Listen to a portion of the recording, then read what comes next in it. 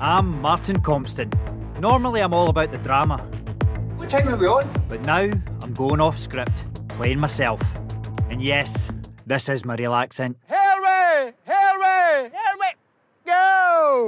Having spent the last few years travelling for work, I'm getting reacquainted with my homeland. And joining me is my great pal, the mighty Phil MacHugh. The perks of not driving. Are you being serious? We're heading across the country This is modern Scotland. to drop in on a brilliant bunch of Scots.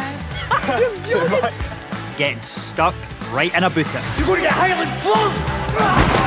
Rising to the challenge. We're going above Breathtaking, isn't it? and beyond. to discover what makes our nation tick today. It's time to hit the road.